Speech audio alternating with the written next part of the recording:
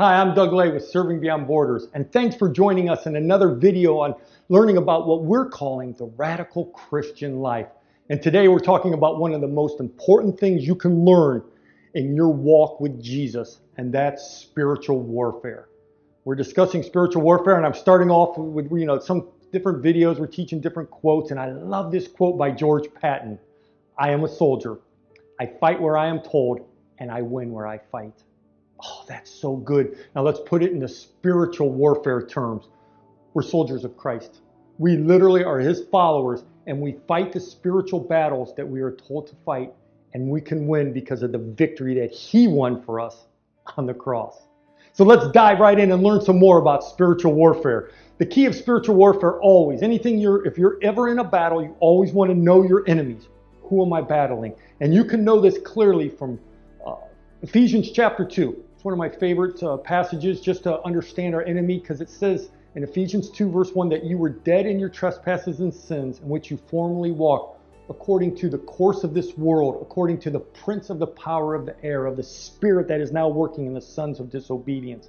And what you get in that passages are the two areas that we're battling. The first is the demon, the prince of the power of the air, Satan, the chief of the demons, and that we have an enemy who's out there trying to take you down. Understand that. 1 Peter 5 8 talks about how we have an adversary, the devil, who roams, roams around like a roaring lion, seeking those whom he may devour. You have somebody who's trying to ruin your life. So don't just be one of those Christians like, oh, it's all okay, it's all okay, and then boom, you're not prepared, and Satan takes you out. So many Christians live, defeat, live defeated lives. Too many do. Not all of them, but too many do because they don't understand the spiritual warfare they're in and Satan gets to them. But you're aware, you're engaged, but you also have to understand the, the battleground we're at, the world, the course of this world, the prince of the power of the air, of the spirit that's now working in the sons of disobedience. I love this German word, Zeitgeist. I just just saying it sounds like a warfare word, right? Zeitgeist. and it literally means the spirit of the age, the, the times that we're living in. And this world, the culture that you're in, no matter what country you're watching from, you need to understand that this world is trying to take you down. And that's why First John, the, the Apostle John warns us do not love the world or the things in the world. For if anyone loves the world, the love of the Father is not in him. For all that is in the world, the lust of the flesh and the lust of the eyes and the boastful pride of life is not from the Father, but is from the world. And, and John paints for us and saying there, there's a division. Those of us who are Christians can't love the world.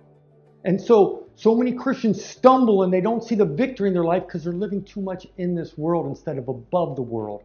Because Christ tells us, and, and, and we see here from his disciple Paul in Colossians chapter 3, verse 2, that we're supposed to set our minds on things above. We live above this world. Now, I want to teach you a phrase, and oh, put this one in your theological blender and let it stir around for the rest of your life because you will use it a lot if you engage in spiritual warfare. I think it was Jack Hayford who said it. I haven't verified it, but I love this when I first heard it. You can't cast out the flesh and you can't disciple a demon. We live in the radical middle here and in, in serving beyond borders, and we're teaching that to you. And and this is the perfect radical middle verse right here because so many people don't understand the spiritual warfare of the spirit part of demons that are out there. And you have to deal with demons in your life. And then, but to balance that, you have to understand discipleship. And we live in that radical middle. So, how do we engage in spiritual warfare so that we can win? And, and again, I want to tell you something. I'm not just teaching you part of living the radical Christian life, I'm teaching you, a disciple, who's going to go and make disciples. Because we make disciples who make disciples. So learn this so you can go help set others free and give them the ability through the Holy Spirit, watch our video on the Holy Spirit, to live the victorious Christian life. So let's get into it. Two ways. Two ways to engage in warfare and win the battle Christ has already won the victory for deliverance and discipleship. Deliverance and discipleship. Deliverance comes from that great spiritual warfare passage, Second Corinthians 10 3 through 5. So in this passage, it's talking about how our wrestle is not against flesh, but it's against principalities and spiritual forces, and that we're supposed to take every thought captive to obedience of Christ. Because it's reminding us the battlefield's the mind. it's the mind. And we need delivered because Satan has got in and he's messed up our life, mind and he's messed up our lives. When we talk about being delivered from demonic forces, it's not like there's some little demon living inside, you know, like, get out, get out, we gotta get out. You know, people make fun and think, oh, this demonic activity. No, no. Why do you keep doing the same sin that you keep falling and stumbling and you go, I'm not gonna do that ever again, and then the next week you just get right back into it and stuff? Maybe it's because there is a demonic influence in your mind that you need to be delivered from. How do we do deliverance ministry? I go all over the world and I've seen all sorts of deliverance ministries done, and there's no one way, but I walk people through this little acronym to help see people set free, and it's worked for years and it can work for you. The first thing is, I love to talk to somebody who's stumbling, they're falling in their life, they're not living the victorious Christian life. I say, first, is there sin in your life? Let's just be honest. You're not seeing victory. Why? Because maybe Satan has a right to be there because you're living in sin. And, and that's that's just so radical for some people. Like, what? And, uh, no, if you're living disobedient to the commands of Jesus, that means you're not following your Lord's words, you're following Satan's words, and you've given him now permission to mess up your life. And you need to turn from your sin. It's called repentance and get rid of that. And that's literally a way to be delivered of just saying, I'm not going to do that anymore. I've seen this so many times. I could go on with story after story, but for time's sake, I'm just going to say to you is there an area where you're not living according to God's word? Stop. Ask God's forgiveness, and He will forgive you. He's already taken it to the cross, He's already forgiven you. You need to acknowledge your sin and now start walking in purity. The second thing is what we call open doors. Open doors are just areas of your life, things that you might have done or are doing now, where you're giving open doors or permission.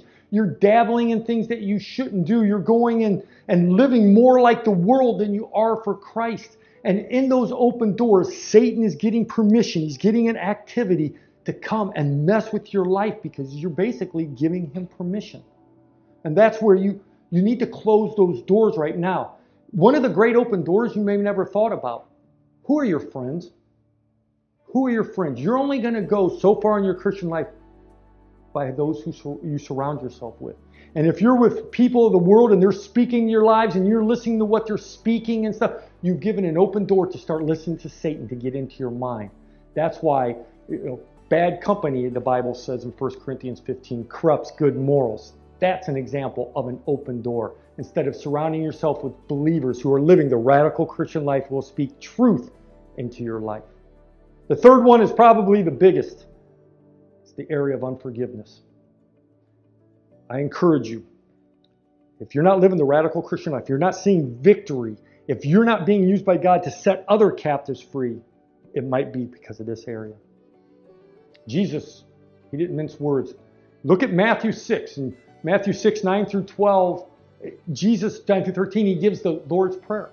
And we all know the Lord's Prayer. If you've been a follower of Jesus for any time, you've probably learned the Lord's Prayer Our Father who art in heaven, hallowed be thy name.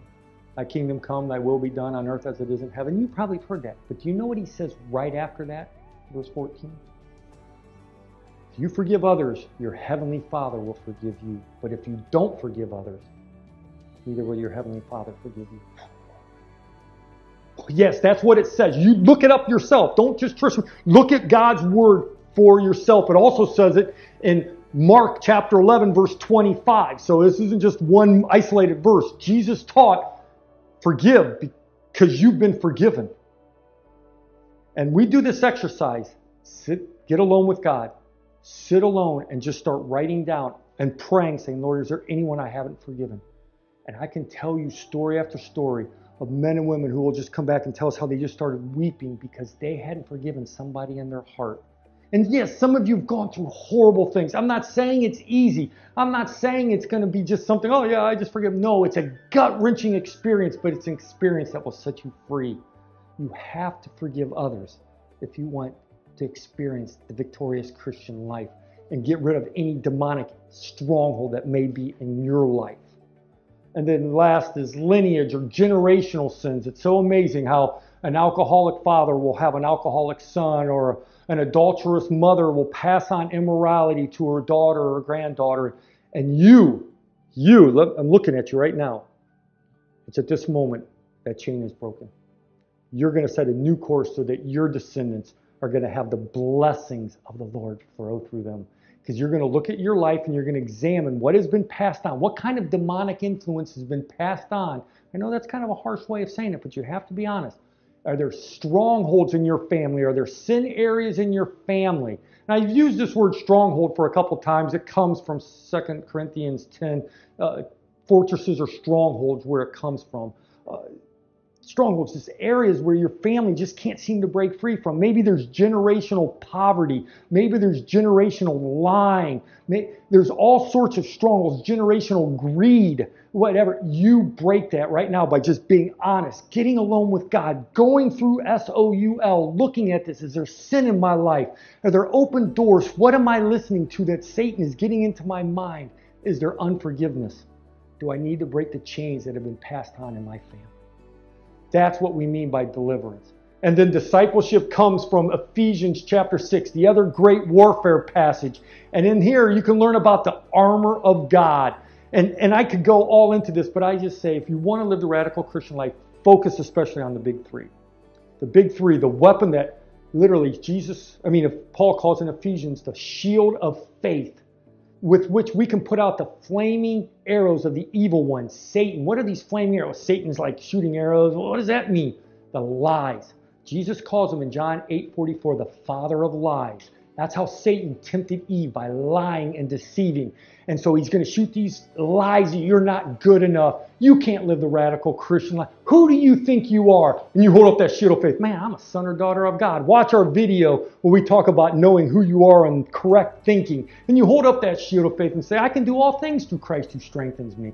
What, what is this noise I'm listening to by Satan? Get out of here. That roaring lion will become a little pussy cat when you hold up that shield of faith. And then the second thing is the sword of the Spirit, it says in Ephesians chapter 6, which is the Word of God. You have a weapon not to be defensive, but to be offensive, to attack, to go after him. And that's what Jesus used when he had went after Satan in the temptation. Satan's trying to get Jesus to stumble, trying to give up his right to, to claim what he had come to buy with his death and resurrection.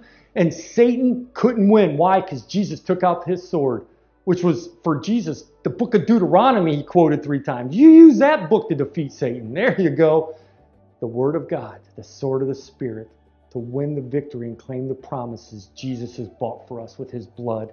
And then last, with all things, it says in Ephesians 6:18, praying in the Spirit. Not some crazy, oh, praise in the Spirit. No, it means praying according to God's will, praying, letting the Holy Spirit speak and intercede for you according to Romans 8:26. You do those big 3 and start being discipled and learning what it means to live by faith. Learning what it means to you the sword of the Spirit. Learning about prayer, which we're going to have videos on all of these because those are the big 3 in living the radical Christian life. Oh, this is a lot of stuff and I'm trying to condense it all down because remember, in living the radical Christian life, we want to make it simple. Spiritual warfare really is. You can't cast out the flesh and you can't disciple a demon. We need to see deliverance and we need to see discipleship. And it's you, you who are part of living the radical Christian life, are being called right now by Jesus Christ to make sure you've been delivered, to make sure you're entering in discipleship, so then that now you can go and make disciples who make disciples. So I ask, are you engaged in the battle? Are you living just a normal Christian life, stumbling, falling, but you know, sometimes going to church? Or are you living the radical Christian life? Hi, we're Josiah and Larissa Lay with Serving Beyond Borders. Thank you so much for watching this video. Like, share, and comment to keep the conversation going. We'd love to hear from you. Also, make sure to subscribe below as we journey together on making disciples who make disciples.